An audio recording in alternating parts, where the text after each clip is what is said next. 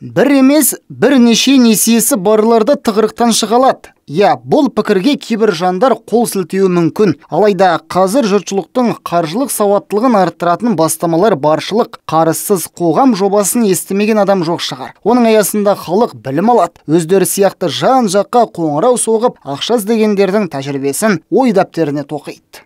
В нашей области на, данный момент э, работают 4 бизнес-эксперта. қазіргі уақытта біздің облыста төрт бизнес сарапшы жұмыс істейді. Халықты оқыту ақпан айында басталды. Осы күнге дейін 3204 адам білім алды. Тұрғындарға дұрыс несие алуда отбасылық бюджетті жоспарлауда инвестиция құюды үйретеміз. Бүгінде кейбір адамдар азық түлік үшін кредит рәсімдейді. Бұл алаңдатарлық жайт. Осының алдын алғымыз келеді. Жалғыздың шаңы шықпас дегендей жоба жетекшісі мәселені өзі ретке келтіре алмайды. Бұл бағытта арнайы топ құрылған. Ішінде түрлі саланың тұтқасын ұстаған азамат, азаматшалар бар. Банк өкілдері де мүшелік етеді. Олар жауапсыз клиенттердің санын азайту үшін ел көлеміндегі бастамаға қолдау танытуда Например, если у человека 4 или 5 кредитов, он закредитован.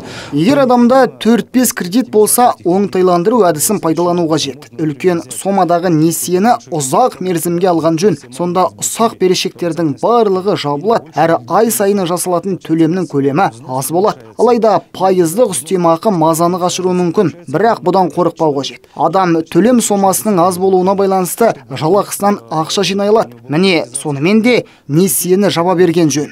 Арнайы құрылған топ маңызды мәселені жан жақты қарап жатыр. Жақын арада банк пен тұрғындарға тиімді бірнеше ұсыныс әзірленбек. Қарызсыз қоғам жобасы жылдың соңына дейін жалғасады. Әлі бірнеше топ білім алмақ. Жалпы жоспар бес жарым мың теріскейлікті курспен қамту. Байболат бектемірұлы олег касинов мтрк